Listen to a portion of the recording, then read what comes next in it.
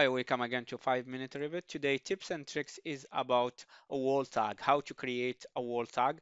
Uh, in our example, it's a wall. We You can apply this uh, example for uh, door, uh, windows, other uh, category in Revit, but uh, most of asked question how to create a, wall tag. Let's see how it works.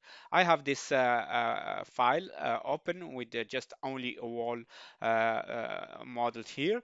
Uh, I go in a new uh, to open uh, a family to create a new family and go to family. Then I go to to choose to choose a template to start with and I go for uh, annotation and generic tag okay? We will start with the generic tag and then we change the category. This I I get out of this and uh, I will uh, I will uh, change the category in here and then go to make it a wall tag okay? A wall tag okay? Now I will draw a symbol uh, to have the uh, to have the parameter inside. I go to line and I create a rectangle. Oh that's uh, so big couple of times let's make it in here. Five units. That one also five units. And then I will move that in the center in here.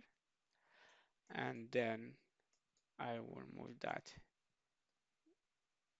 in the center in here and then I will go to create and line. Then I choose in here fillet arc and let's uh, make it uh, two for example.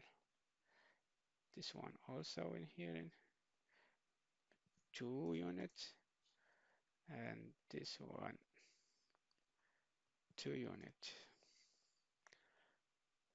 we just have as example. Yeah that's uh, a nice shape. Then I go to label and place a label in here. Go for searching a type mark okay? A type mark. You can have a share parameter if you want. Let's uh, put it a mark.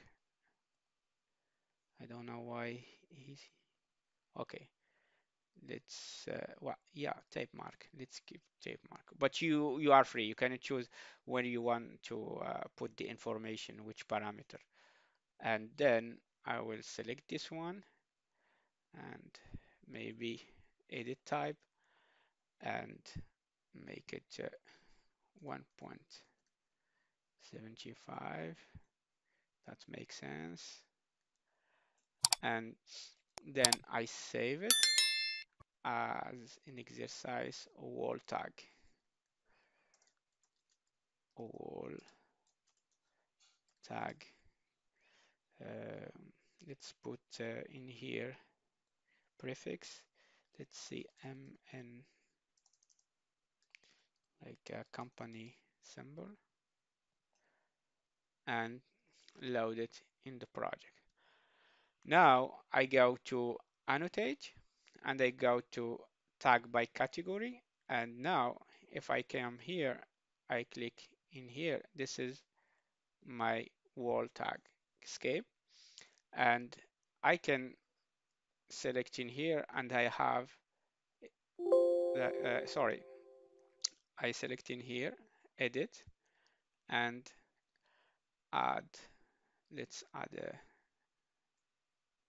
in here this tick mark and then if I go to wall in here edit type and I go to the type mark in here and I name it like for example uh, wall type 01 okay you see here?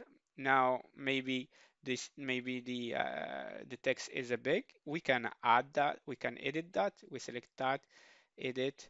Maybe I change that one let's let's see.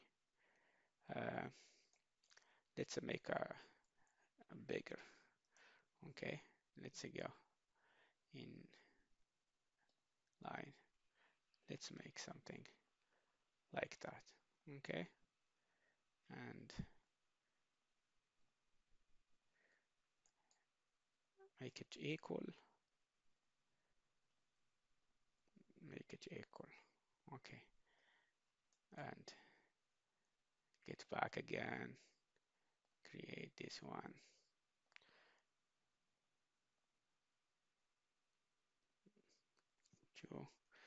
We repeat that but no problem with that. That's uh, repetition is uh, the mother of learning. That's gonna help us to have more chance uh, to got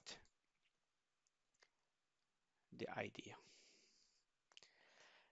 et voila I load it in a project. Override existing. And now there is something like that okay? And now I can move it like that or like that. If I for example let's uh, create another another wall. Sorry architecture wall. Uh, let's see this wall type okay. Now if I click on TG tag.